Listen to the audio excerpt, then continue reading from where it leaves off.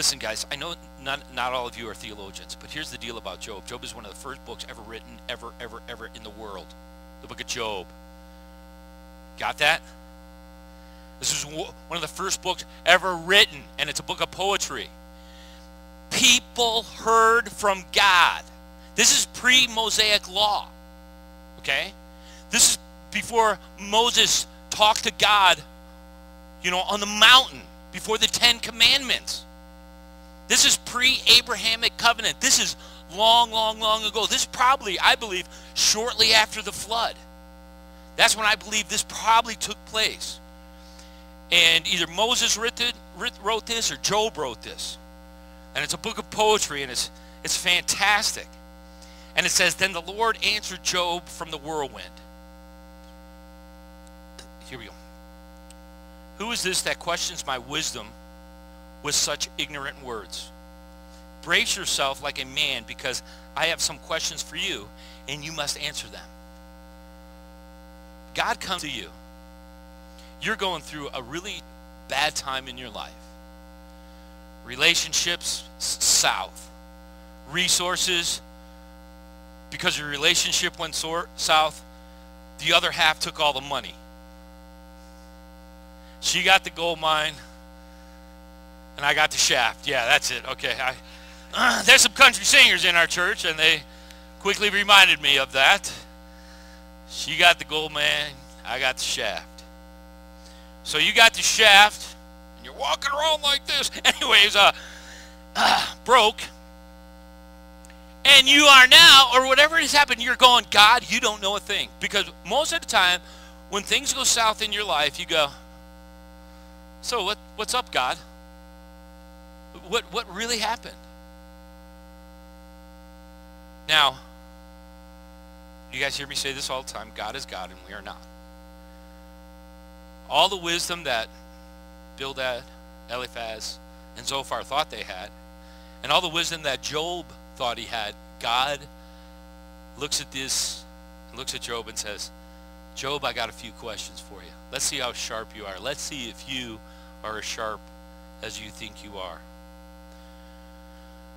Where were you when I laid the foundations of the earth?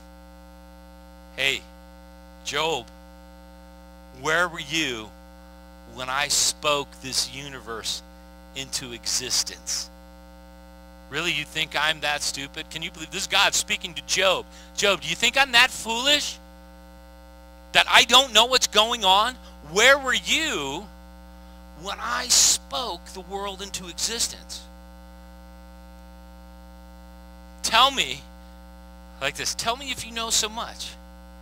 Who determines its dimensions and stretched out the surveying lines? What supports its foundation and who lays its cornerstones? As the morning stars sang together and all the angels shouted for joy. Who kept the sea inside the boundaries as it burst from the womb? And as I closed it with clouds and wrapped it in thick darkness, for I locked it behind barred gates limiting its shores, I said, This far and no farther will you come. Here your proud waters must stop.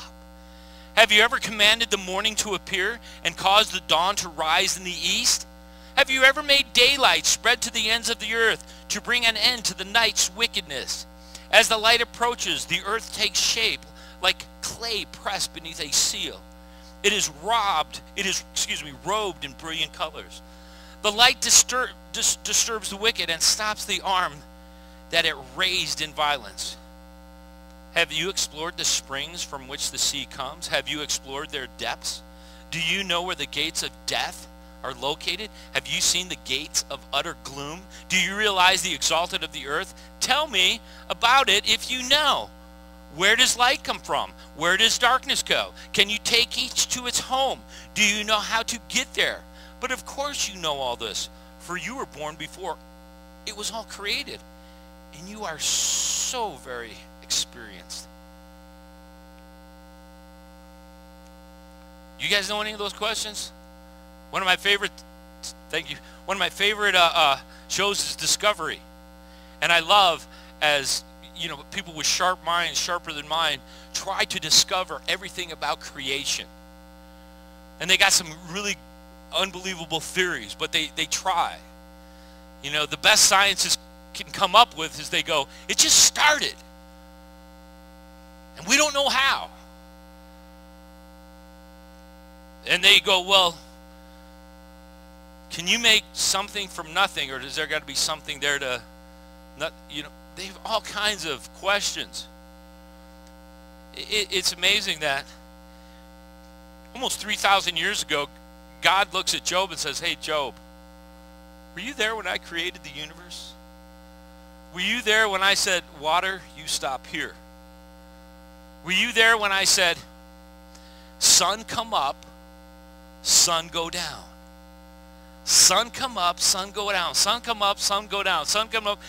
And I think it is so cool. What I, you know, it, it just does it. And if it doesn't do it, we're in some serious trouble. I love that. I love that about God. I love listening to, years ago, I heard this speaker's name is Ravi Zachariah. You can look him up on the web. And uh, uh, he debates he's an apologist and he talks about Christianity and talks about the character of God. And one thing that's really cool about the character of God is the rising of the sun and, and the setting of the sun. And he depicted it of a grandchild that he had. And I can depict it as when I had my first child, which was Matthew, my son. And when he was a little boy, I used to throw him up in the air. And he'd come down and he'd laugh and he'd smile at me. And then when we got to talk, he'd say, do it again. And so I'd throw him up again. And then he'd say, do it again. And he would say, do it again, do it again, do it again, do it again, till my arms would fall off. And he never quit enjoying it. Do it again. And I'm sure if you have kids, there's always something that they're like, let's do it again. Let's do it again. And God has embedded his image on all of us. Who else is going to come up with this idea? The sun comes up, the sun goes down, the sun comes up, the sun goes down. And God's going, do it again, do it again, do it again, do it again. It is so good. It is so routine. And God loved it, and he smiles, and it gives us, it gives you and I life. And so we have one of these first generations, they believed in God. They didn't know everything to know everything about God, they thought for sure when something bad happened in their lives that, oh man, God's punishing them. And God is allowing them to know for the very first time, no, I'm in control of everything. The good, the bad. I know it all. And you know nothing. Do you know where water came from? I do. I made it. Do you know where hell is? You don't, but I do.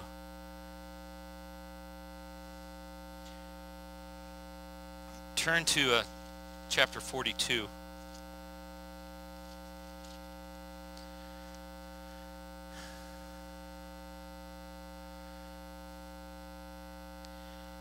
This is what God thinks about the wise friends Eliphaz, Bildad, and Zophar. I kind of like the names though. You know what I'm saying? Eliphaz, Zophar. Eh, Bildad sounds like it should be in a children's book, don't you think? Here we go. It says, After the Lord had finished speaking to Job, he said to Eliphaz the Temanite, I am angry with you and your two friends, for you have not spoken accurately about me as my servant Job has. So, take seven bulls and seven rams and go to my servant Job and offer a burnt offering for yourselves. My servant Job will pray for you and I will accept his prayer on your behalf. I will not treat you as you deserve, for you have not spoken accurately about me, as my servant Job has. So Eliphaz the Temite, Bildad the Shuhite, and Zophar the Naamathite did as the Lord commanded them, and the Lord accepted Job's prayer. His three buddies, who, for you guys that have written it, Job is always like, really, you guys think you're that smart? Where we were going to go today in chapter 14 through 17. Job's like, if you guys are what compassion is supposed to look like, I don't want any. You know what I'm saying? That's that's what he's. If, if you're supposed to be compassionate, just hit me in the head and walk away. So they were wrong. I mean, even though you read this and they're they're talking so eloquently about God and everything that they know and they're so wise. And I love when Job said, "Oh my God, when you guys die, wisdom's going to die with you." You know what a good smart aleck remark. You can remember that for a professor in college one day. Anyways, here's the deal. One time Job Job talks about death. And for you guys that have heard, he talks about death, and he doesn't understand death. He says, I want to hide in the grave. And he's like, because this is pre-Christ, this is pre-Abrahamic covenant. He's like, what happens when we die? Where do we go? Do we just hang out? We're asleep. What goes on?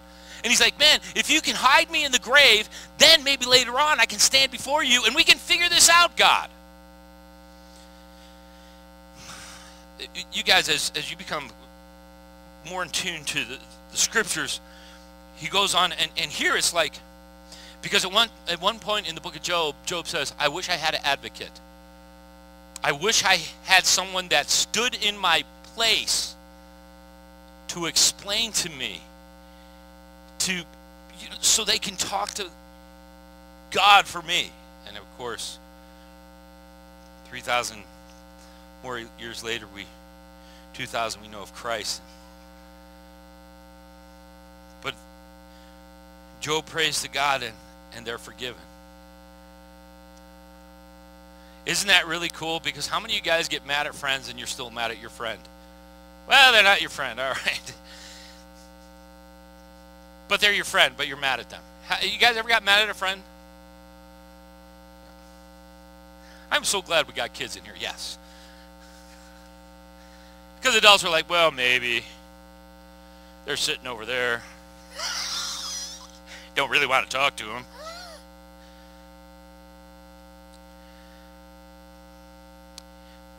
you, you guys, I want you, before we wrap this up, picture this. Job is physically disfigured, disfigured. He stinks of death. He reeks of death. He has flesh that has died that he scrapes. He's crying. Everybody knew Job because Job was a successful even then he would they, they knew what success was. He had he had like a fleet of camels. So he had like the good camels. Lots of them, double humpers. He could and, and, he, and, he, and he had trade routes. He was a trucker. He traded his grain all over the known land. He didn't need a credit card. His name carried the weight. It's Job. Oh, yeah, no problem. Whatever you need, take it. He had condos everywhere. Enemies didn't even bother with him because they, they knew they would lose. Everybody knew Job. And when Job took a hit,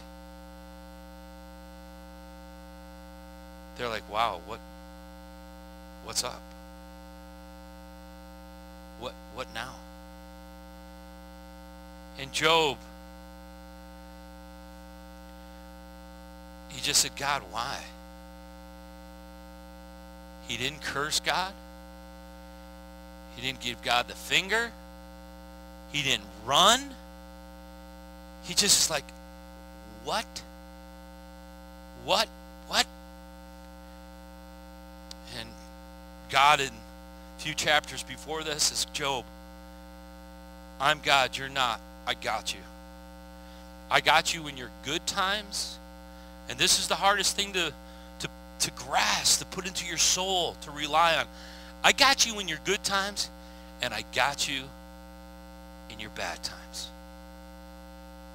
You know, when I have friends, when folks here are going through terrible times, a wife is leaving you, a husband is leaving you, kids have gone south, resources dried up, you lost a job, whatever it is, and sometimes it's because of your own foolishness. Sometimes it's not. And you go, what do I do? And I'm not a cliche pastor, but I, I, I my my only truth that I know of is only God knows your tomorrows. So hold on to God. Hold on to Jesus. He's the only one that knows what's going to happen. You don't, but He does. And that's what Job did. He hung on to God. Now, I got to admit this. When you hold on to God and you do what God wants you to do, He blesses you like you can't believe. Band, why don't you guys come up and get ready, and I'm going to read this as they're coming up. This is, this is, this is the second half of Job's life. Listen to this. When Job prayed for his friends, the Lord restored his fortunes. In fact, the Lord gave him twice as much as before. Then all his brothers and sisters and former friends came and feasted with him in his home. And they consoled him and comforted him because of all of the trials the Lord had brought against him. And each of them brought him a gift of money and a gold ring. So listen to this. This I love when he gives us numbers because we can understand numbers. Right? We can understand numbers. We, we, don't, we don't often understand the unseen blessings that we have. I talked to a young lady who she decided to give for the first time in a year, and we went to lunch and she said, Pastor Ken, here's the deal. I'm giving 10%, but I don't, my, my bank account isn't going up. Matter of fact, it kind of went down. We're kind of barely making it. And I, I thought when I give like this, you know, I'm just going to get rich. You know, I was waiting for the press down, shaking together, running over, and I don't know what happened. And all I could say to her is, I, and I love this young lady, I said, I said, listen, here's the deal. Do you know what God has kept you from? Do you know what your guardian angels have protected you from? Do we know the unseen? We don't, do we? But do we measure the unseen? No. No. Don't don't look at me and go, oh yeah, I know, yeah. I saw some demon chasing me the other day, and all of a boy, my archangel came down, hit him in the head, and went rolling down into the river, and I was good. No. We're two-dimensional, and we're not three-dimensional. So I love when God tells him this, you obey me, you will be blessed. Here's the numbers. Everybody know Job was loaded. Job was loaded. And this is what happens. So the Lord blows, blessed Job in the second half of his life even more than in the beginning. And you got to know it comes from God. All our blessings come from, everything is God's anyways. It all comes from God. Here, this is what he says. For now, for now he had, for now he had 14,000 sheep, 6,000 camels, 1,000 teams of oxen, and 1,000 female donkeys. He also gave Job seven more sons and three more daughters.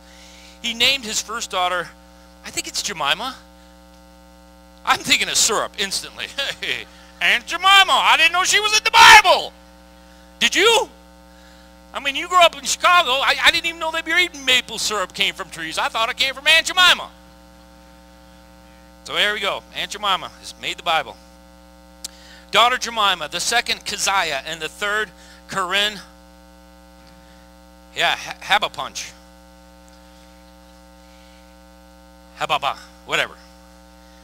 In all the land, no women were as lovely as the daughters of Job, and their father put them in all his will along with their brothers. Job lived 140 years after that, living to see four generations of his children and grandchildren. Then he died, an old man, and lived a long, really